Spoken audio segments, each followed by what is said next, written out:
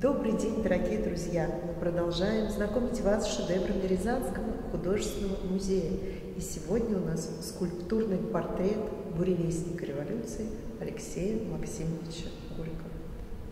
Добрый день, дорогие друзья! 1930-е годы – это время значительных монументальных произведений в скульптуре – для памятника Алексею Максимовичу Горькому в Москве скульптор Иван Дмитриевич Шадр вылепил скульптурный портрет писателя. Мастер встречался с художником слова и свои впечатления притворил в таком значительном, емком, поэтическом, пластическом образе.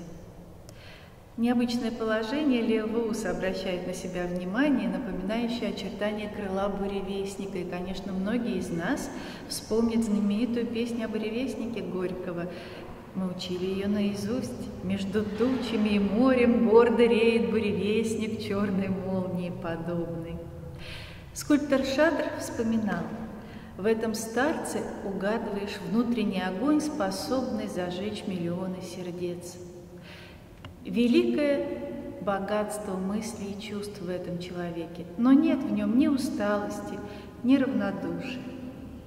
Скульптора не стало в 1941 году, и работу над памятником закончила Вера Мухина спустя 10 лет, в 1951 году.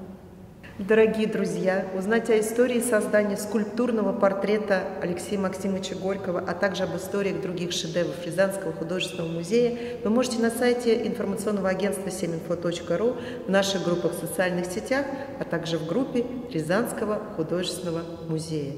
Но самое главное, не забывайте, что путь к картинам лежит лично в посещении этого прекрасного исторического места.